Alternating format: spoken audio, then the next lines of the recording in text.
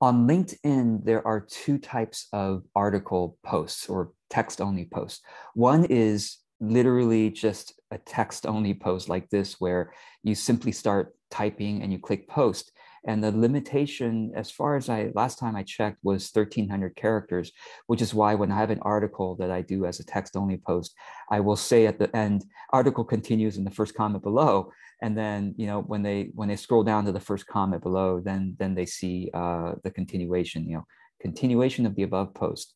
And then a second type of post on LinkedIn that's text only, well, which actually in this case, you can also include images and whatnot, is called an article. And so this is what an what what a LinkedIn article looks like. You you you can you can have um, you know a cover image. Uh, you can you can you know format it more nicely with italics, uh, you know headings and, and things like that. Um, you know even bullet you know uh, numbered bullets or or bullet or non-numbered bullets. You can have uh, hyperlinks and things like that. So uh, an article looks more like something you would look on Medium. And in fact, I have found that once I have written an article on Medium, okay, once I've written an article on Medium, um, yeah, I guess I'll, I'll just go here. Uh, so this is the corresponding article on Medium, for example. Okay, so once I have done my formatting on Medium, then I simply select, well, I, I select not, not with the heading, but I select, once I post it on Medium, I simply select all of this, you know, I select, sorry, it's so long. But I select all of this, okay, copy it. And then when I go to LinkedIn and, and, and create an article, I can simply paste. And LinkedIn seems to like the formatting for Medium and it comes out just like this. So let me show you how to create each. Okay, so I'm, I'm on my LinkedIn company page, but you could do this. Well, you know what? Why don't I show you how to do it on a, on a normal LinkedIn page, not a company page? Okay, so on a normal LinkedIn page, you simply, when you click start a post, this is where you start writing a, well, you could do a text only post or you can add a single image or whatever, but it's like, it's just like a simple post. And if you, if you paste in, you know, if you paste in um, just, just words, then this is a text only post. It shows you I've exceeded the character limit greatly. Uh, 5488, anyway, doesn't matter. Um, so this is a text only post. I can't post it because it's too long. But if I if I remove it, uh, if I, am just going to randomly cut cut a bunch, uh, then I could you know I mean, of course I want to I want to put spaces and you know sorry line breaks and things, and then I can click post. Maybe I want to do a hashtag or two at the end. So that's a text only post. Okay, and once I post it, then I can comment on my own post if I wanted to add more. If I want to do an article, then I have to click on write article, write article right there. And once I click on write article, oh, it asks me if I want to choose my company page or, or personal LinkedIn. I'm just going to say personal LinkedIn for now. And then I can upload a cover image. And then here I can paste in. Remember earlier, I, I copied everything from Medium that I posted. Well, I'm going to paste it in. I'm going to show you what happens. Voila, you see how everything, well, almost everything is perfectly formatted. There are a couple of like little line breaks that I might have to delete. But look, everything, everything else looks pretty nice, you know? So this is how I, I do the LinkedIn article more quickly and efficiently, because if I'm going to write an article for my own website, I might as well also post it on LinkedIn, uh, Medium and the LinkedIn. Uh, Google doesn't mind doing that. It's called syndication. It's not duplicate content. You don't get a duplicate content penalty by doing this. This is called syndication. Uh, when it comes to Medium and LinkedIn and your website.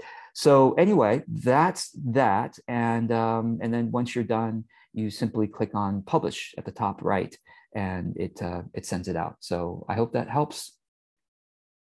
Yes, it does. Thank you, George. Question oh, from yeah, that. Go ahead, Leah. Um, what is the benefit oh, of, hi. Hi, Clint wants a question too. Um, what is the benefit of posting the article in LinkedIn as an article versus just linking to your Medium article?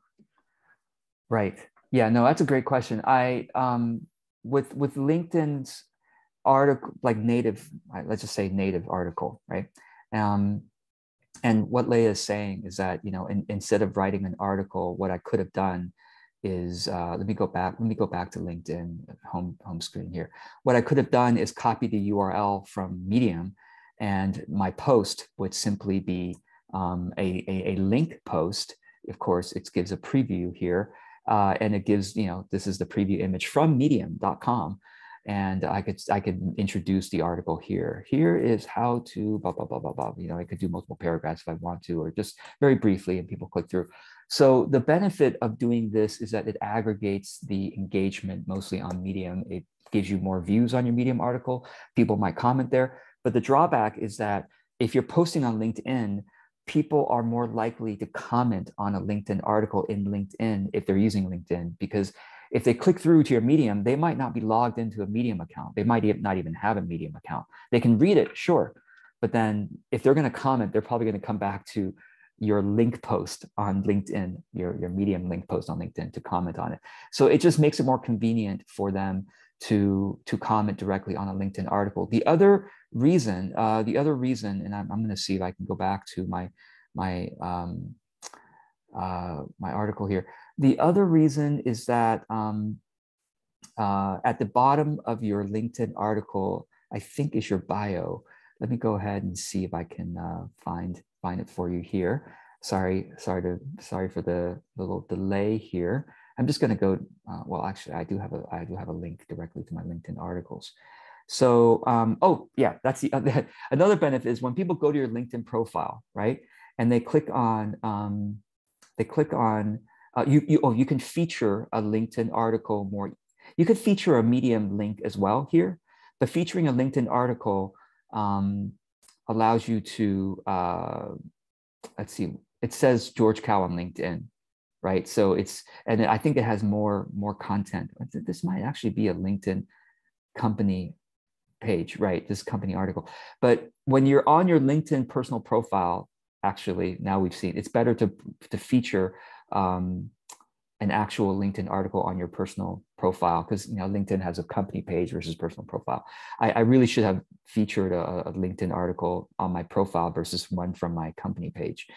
Um, the other thing is when people go to your uh, activity, okay, when they go to your activity, they can click on articles and it's all here.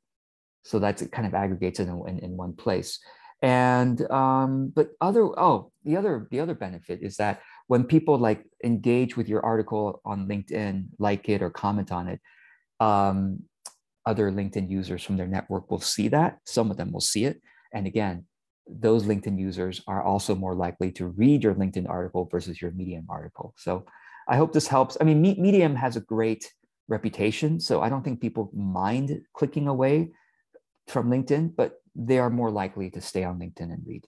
So so, sorry, following on from that. So, if you click on one of your articles, does it show at the bottom or the, or the oh, top oh, right. your profile? So it shows it shows it at the top. It top. shows how many mm. articles I have, mm. uh, which LinkedIn articles, right, that I published. Yeah. And then at the bottom, I think it also yeah, it shows it again. Yeah. There you go. Yeah. So mm. everything kind of keeps on LinkedIn. Whereas if, if you if they click through to Medium, mm. um, sure medium at the bottom gives gives an encouragement to subscribe to my medium newsletter and it shows me more of george Kao's articles i'm already subscribed to my own newsletter so that's why it doesn't hmm. not letting me subscribe but but it shows more of my but then now they're on medium rather than on linkedin and they might not be logged into medium that's yeah. the thing so yeah. on linkedin okay.